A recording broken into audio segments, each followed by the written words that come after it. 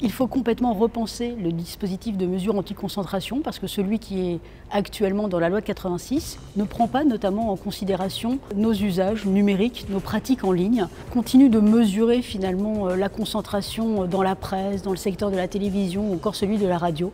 On voit que le numérique est totalement transverse. Aujourd'hui, il y a de nouveaux outils qui sont en place, qui sont présents et qui permettraient de mesurer véritablement la concentration à l'ère du paysage numérique.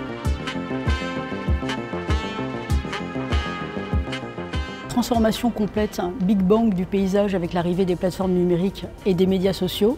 Nouveau Big Bang, l'arrivée de l'intelligence artificielle. Celle-ci est déjà présente euh, depuis longtemps, euh, euh, depuis quelques années en tout cas, dans les, dans les salles de rédaction. Aujourd'hui, on fait face à l'intelligence artificielle générative. clairement, ça doit être un outil, mais on comprend bien qu'il faut réglementer, réguler.